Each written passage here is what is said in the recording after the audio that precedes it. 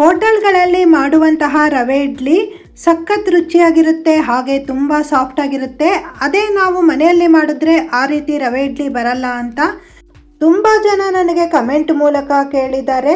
ಉಬ್ಬಿರುವಂತಹ ರವೆ ಇಡ್ಲಿ ಮಾಡುವ ವಿಧಾನ ಈ ಟಿಪ್ಸನ್ನು ಫಾಲೋ ಮಾಡಿ ಮಾಡಿ ನೋಡಿ. ಸಖತ್ ರುಚಿಯಾಗಿ ಬರುತ್ತೆ ರವೆ ಇಡ್ಲಿ.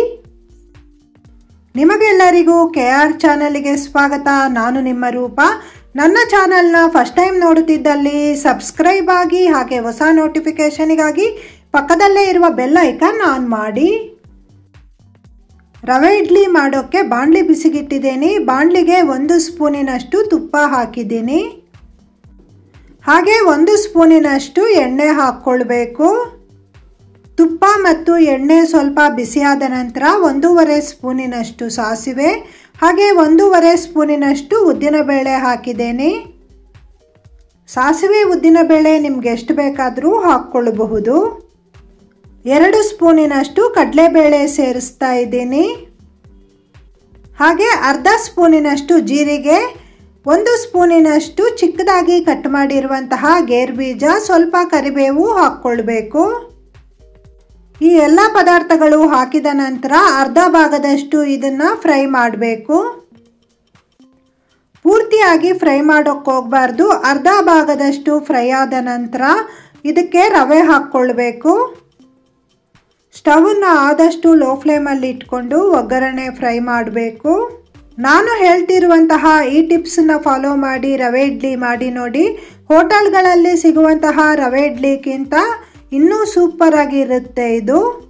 ನೋಡಿ, ಅರ್ಧ ಭಾಗದಷ್ಟು ಒಗ್ಗರಣೆ ಫ್ರೈ ಆದ ನಂತರ ಒಂದು ಲೋಟದಷ್ಟು ರವೆ ಹಾಕ್ಕೊಂಡಿದ್ದೀನಿ. ಉಪ್ಪಿಟ್ಟು ಮಾಡುವಂತಹ ರವೆ ಇದು, ಬಾಂಬೆ ರವೆ ಅಂತ ಹೇಳ್ತಾರೆ. ರವೆ ಹಾಕಿದ ನಂತರ ಸ್ಟವ್ ಲೋ ಫ್ಲೇಮಲ್ಲೇ ಇಟ್ಟು ಇದನ್ನು ಫ್ರೈ ಮಾಡಬೇಕು. ರವೆ ಕಲರ್ ಚೇಂಜ್ ಆಗುವವರೆಗೂ ಫ್ರೈ ಮಾಡುವ ಅವಶ್ಯಕತೆ ಇಲ್ಲ.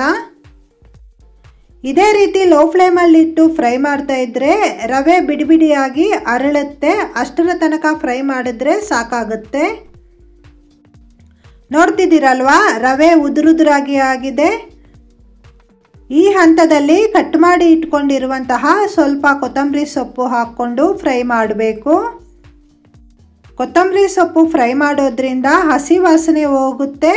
ಹಾಗೆ ಕೊತ್ತಂಬರಿ ಸೊಪ್ಪಲ್ಲಿ ಇರುವಂತಹ ನೀರಿನ ಪಸೆನೂ ಹೋಗುತ್ತೆ. ಕೊತ್ತಂಬರಿ ಸೊಪ್ಪು ಹಾಕಿ ಒಂದು ನಿಮಿಷದೊತ್ತು ಫ್ರೈ ಮಾಡಿದ ನಂತರ ಸ್ಟವ್ ಆಫ್ ಮಾಡಿಬಿಡಿ. ರವೆ ಬೆಚ್ಚಗಾಗಬೇಕು, ಅದಕ್ಕೆ ನಾನು ಇನ್ನೊಂದು ಪಾತ್ರೆಗೆ ಹಾಕ್ಕೊಂಡಿದ್ದೀನಿ. ರವೆ ಸ್ವಲ್ಪ ತಣ್ಣಗಾಗಿ ಬೆಚ್ಚಗಾದರೆ ಸಾಕಾಗುತ್ತೆ. ನಂತರ ಅದೇ ಲೋಟದಲ್ಲಿ ಒಂದು ಲೋಟದಷ್ಟು ಹುಳಿ ಮೊಸರು ಹಾಕ್ತಾ ಇದ್ದೀನಿ. ರವೆ ಇಡ್ಲಿಗೆ ಹುಳಿಯಾಗಿರುವಂತಹ ಮೊಸರು ಹಾಕೋದ್ರಿಂದ ಇಡ್ಲಿ ಸಾಫ್ಟಾಗಿ ರುಚಿಯಾಗಿ ಬರುತ್ತೆ. ಮೊಸರು ಹಾಕಿದ ನಂತರ ಇದನ್ನು ಚೆನ್ನಾಗಿ ಮಿಕ್ಸ್ ಮಾಡಬೇಕು. ಇದು ಚೆನ್ನಾಗಿ ಮಿಕ್ಸ್ ಆದ ನಂತರ ಇದಕ್ಕೆ ಸ್ವಲ್ಪ ನೀರು ಹಾಕ್ಕೊಂಡು ಮಿಕ್ಸ್ ಮಾಡಬೇಕು. ನಾನಿಲ್ಲಿ ಅರ್ಧ ಲೋಟದಷ್ಟು ನೀರು ತಗೊಂಡಿದ್ದೀನಿ. ಸ್ವಲ್ಪ ಸ್ವಲ್ಪ ನೀರು ಹಾಕಿ ಮಿಕ್ಸ್ ಮಾಡಬೇಕು. ಹಿಟ್ಟು ಈ ರೀತಿ ನೋಡಿಕೊಂಡು ಸ್ವಲ್ಪ ಸ್ವಲ್ಪ ನೀರನ್ನು ಹಾಕಿ ಇಡ್ಲಿ ಹಿಟ್ಟಿನ ಹದಕ್ಕೆ ಇದನ್ನು ತರಬೇಕು. ಈ ಹಿಟ್ಟು ಸ್ವಲ್ಪ ಗಟ್ಟಿಯಾಗಿದೆ. ಇನ್ನೊಂದು ಸ್ವಲ್ಪ ನೀರು ಹಾಕ್ಕೊಂಡು ಮಿಕ್ಸ್ ಮಾಡ್ತಾ ಇದ್ದೀನಿ. ಇದು ಚೆನ್ನಾಗಿ ಮಿಕ್ಸ್ ಮಾಡಿದ ನಂತರ ಹತ್ತು ನಿಮಿಷದ ಹೊತ್ತು ಮುಚ್ಚಿಟ್ಟು ಹಾಗೆ ಬಿಡಬೇಕು. ಹತ್ತು ನಿಮಿಷದ ನಂತರ ನೋಡಿ, ಇದು ಇನ್ನೂ ಗಟ್ಟಿಯಾಗಿರುತ್ತೆ. ಇದಕ್ಕೆ ಉಳಿದಿರುವಂತಹ ನೀರನ್ನು ಹಾಕ್ಕೊಂಡು ಮಿಕ್ಸ್ ಮಾಡ್ತಾ ಇದ್ದೀನಿ. ನಾನಿಲ್ಲಿ ಒಂದು ಲೋಟದಷ್ಟು ರವೆಗೆ, ಒಂದು ಲೋಟದಷ್ಟು ಮೊಸರು, ಅರ್ಧ ಲೋಟದಷ್ಟು ನೀರು ಸೇರಿಸಿದ್ದೀನಿ.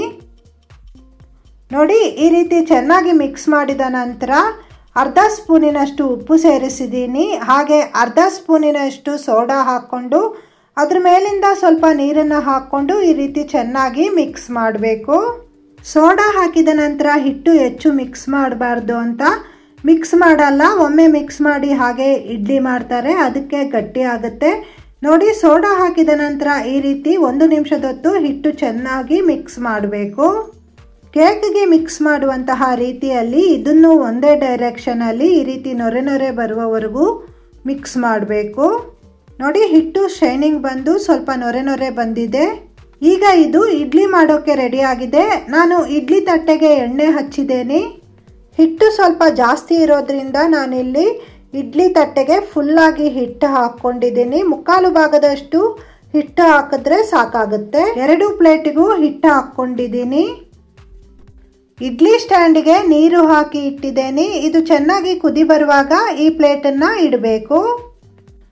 ಈ ರೀತಿ ನೀರು ಚೆನ್ನಾಗಿ ಕುದಿ ಬಂದ ನಂತರ ಇಡ್ಲಿ ಪ್ಲೇಟ್ ಇಡೋದ್ರಿಂದ ಇಡ್ಲಿ ಚೆನ್ನಾಗಿ ಉಬ್ಬಿ ಬರುತ್ತೆ. ಮುಚ್ಚಿಟ್ಟು ಹಬೆಯಲ್ಲಿ ಎಂಟು ನಿಮಿಷದೊತ್ತು ಬೇಯಿಸಿದರೆ ಸಾಕು. ನೋಡಿ, ಎಂಟು ನಿಮಿಷದ ನಂತರ ಇಡ್ಲಿ ಎಷ್ಟು ಚೆನ್ನಾಗಿ ಉಬ್ಬಿ ಬಂದಿದೆ. ಪ್ಲೇಟನ್ನು ಒಂದು ನಿಮಿಷದೊತ್ತು ಕೆಳಗಿಟ್ಟು ನಂತರ ಇಡ್ಲಿ ತೆಗಿರಿ. ತುಂಬ ಚೆನ್ನಾಗಿ ಬರುತ್ತೆ ಇಡ್ಲಿ. ನೋಡಿ, ಇಡ್ಲಿ ಎಷ್ಟು ಚೆನ್ನಾಗಿ ಬಂದಿದೆ. ತುಂಬ ಸಾಫ್ಟಾಗಿ ಬಂದಿದೆ. ಹಾಗೆ ನೋಡಿ, ತೂತು ತೂತಾಗಿ ಸಖತ್ತಾಗಿ ಬಂದಿದೆ. ಈ ರೀತಿ ಬಂದರೆ ಇಡ್ಲಿ ಸಾಫ್ಟಾಗಿ ಬಂದಿದೆ ಅಂತ ಅರ್ಥ. ರವೆ ಇಡ್ಲಿಗೆ ಬಾಂಬೆ ಸಾಗು ಕಾಂಬಿನೇಷನ್ ಸಖತ್ತಾಗಿರುತ್ತೆ. ತುಪ್ಪ ಅಥವಾ ಬೆಣ್ಣೆ ಹಾಕ್ಕೊಂಡು ತಿನ್ನಬಹುದು ತುಂಬ ರುಚಿಯಾಗಿರುತ್ತೆ, ತುಂಬ ಸಾಫ್ಟ್ ಆಗಿರುತ್ತೆ. ನೀವು ಟ್ರೈ ಮಾಡಿ ನೋಡಿ ಹೇಗಾಗಿದೆ ಅಂತ ನನಗೆ ಕಮೆಂಟ್ ಮೂಲಕ ತಿಳಿಸಿ. ವಿಡಿಯೋ ಇಷ್ಟವಾದರೆ ಲೈಕ್ ಮಾಡಿ ಮತ್ತು ಶೇರ್ ಮಾಡಿ. ಇದೇ ರೀತಿ ಒಳ್ಳೆಯ ರೆಸಿಪೀಸಿಗಾಗಿ ಕೆ ಆರ್ ಚಾನಲ್ಗೆ ವಿಸಿಟ್ ಕೊಡಿ ವಿಡಿಯೋಸ್ ಎಲ್ಲ ನೋಡಿ. ಈ ವಿಡಿಯೋ ನೋಡಿದ ಎಲ್ಲರಿಗೂ ಧನ್ಯವಾದಗಳು.